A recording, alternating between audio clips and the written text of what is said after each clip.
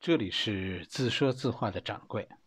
掌柜说《论语》密码，我们继续讲周游列国十四年。今天是第五十四回，六十岁是吧？必招仲尼。上一回，上一回咱们聊了聊孔子在陈的三年幸福生活，是吧？我们说了什么叫六十耳顺，是吧？还跟大家说了什么叫先小人后君子。在陈国呀，本来待的挺好的，突然这个乌鸦嘴子贡啊，又又带来一个消息。子贡告诉孔子一个消息，什么消息呢？鲁国火了，啊，着火了。司铎家着火了。司铎是谁呢？司铎不是一个人，而是一个职务。我们不知道他的名字，也不知道他跟孔子的关系。大体上呢，这个人极有可能是鲁国大内总管这个意思。哎，紫禁城总管。这把火呢，司铎全家遇难，而且火势蔓延，最后把鲁国的宗庙烧毁了一角。书中说呢，烧了鲁桓公和鲁僖公的牌位。孔子听完以后呢，就跟子贡说。说这是一种一种预兆，司铎家着火，这就是季氏将有灾难。子贡嘴里不说，心里一定好笑，是吧？这老师岁数越大越迷信了，没辙了，是吧？啥事儿这都这都讹上我了。上次鲁定公死，就就我多嘴说的，这次我给带来个消息吧，这这这又成了我带来了坏消息。没辙了是吧？我也是醉了。可是没几天，你说不服不行是吧？这老师你不服不行。没有几天，消息传来，季氏出事儿，季桓子死了。孔子跟大家说呢，说为什么当初我说季氏要出事儿呢？被烧毁的这个灵牌，这个鲁桓公和鲁僖公。这都是季氏的祖先。季氏第一个封爵的是鲁桓公的儿子，是鲁僖公分封的季氏。一个是季氏的父亲，一个是季氏的哥哥。就是从这两个人以后，季氏经过四代，哎，成为现在这个三桓这个局面。《论语》当中有一句子贡的感叹，是吧？应该就是这个时候说的。子贡说：“说夫子之文章，可得而闻也；夫子之言，性与天道，不可得而闻也。”啊，意思就是说，呃，夫子讲讲文学，是吧？这个这个，我们我们都都学到了，但是夫子的算命的本事，我们没学到。性与天道，是吧？人性和天道，就是算命的这个本事，我们没没预测未来的这个能耐。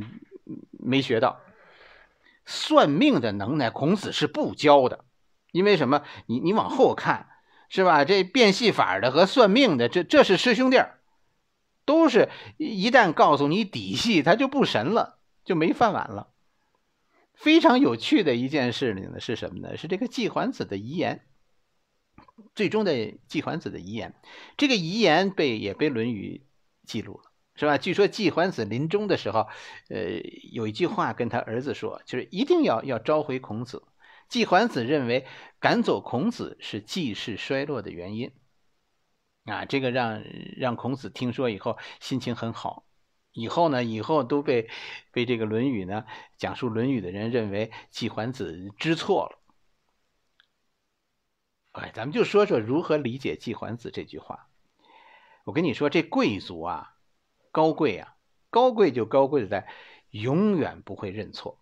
您等，您等贵族认错，您等着去吧。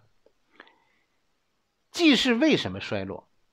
当然，这跟宗庙里祭祀祖先的牌位被烧毁没有关系，是吧？孔子预感到季氏将要衰落，不是他预感到季氏将要衰落，是季氏实际已经衰落。他不过是拿失火的事儿套上这个事儿说事儿罢了，是吧？还真的就把子子子贡忽悠住了。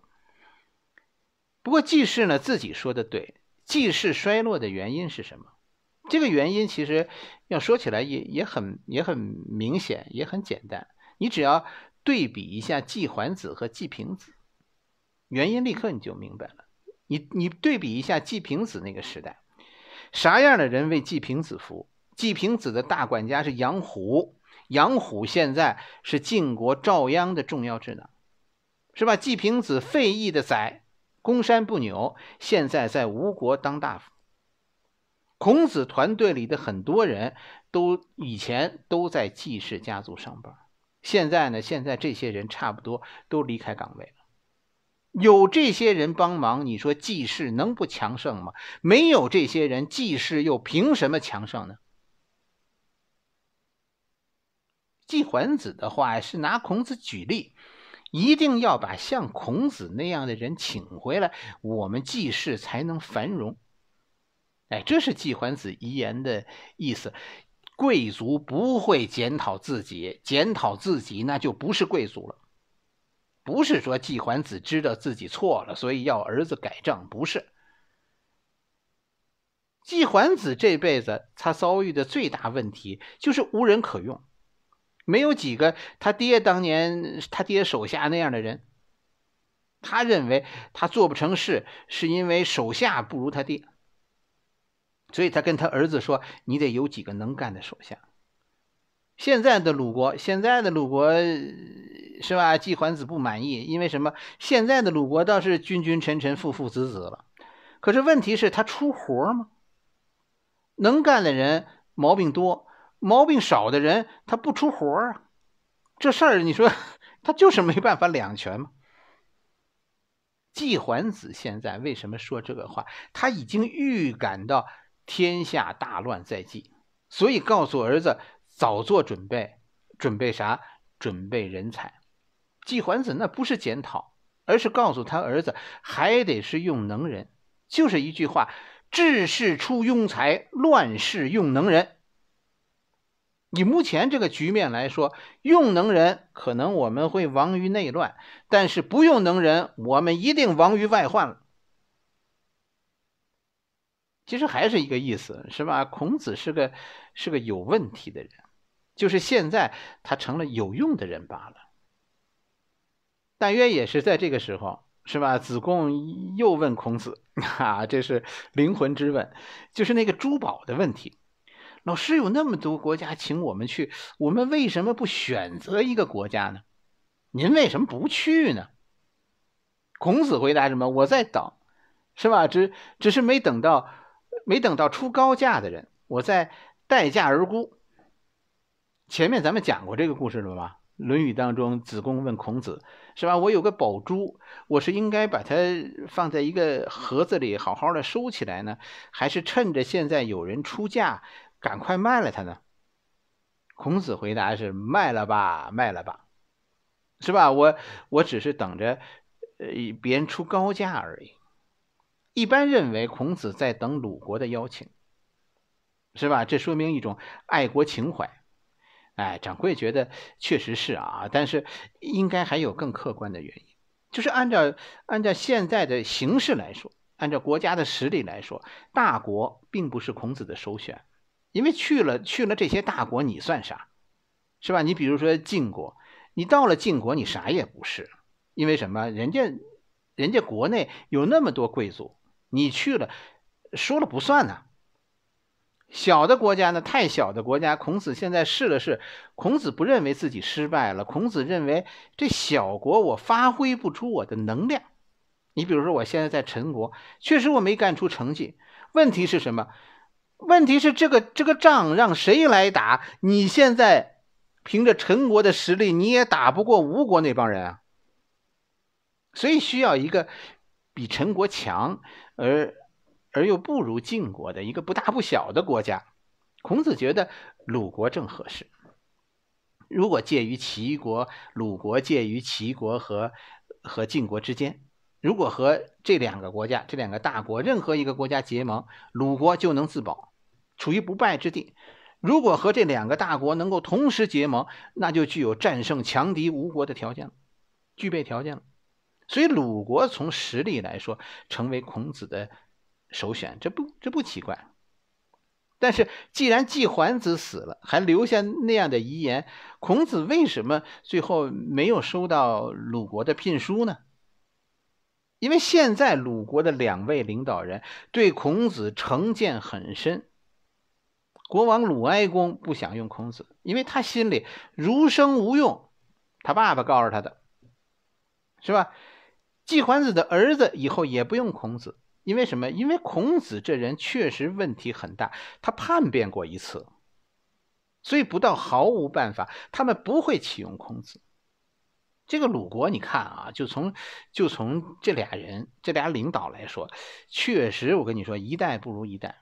鲁国最强的、最强的两个领导人，造成今天鲁国成为一个中等国家的两个领导人，一个是季平子，一个是鲁定公，是吧？他们中间有一个人活着，孔子就有出头之日，就可惜了，是吧？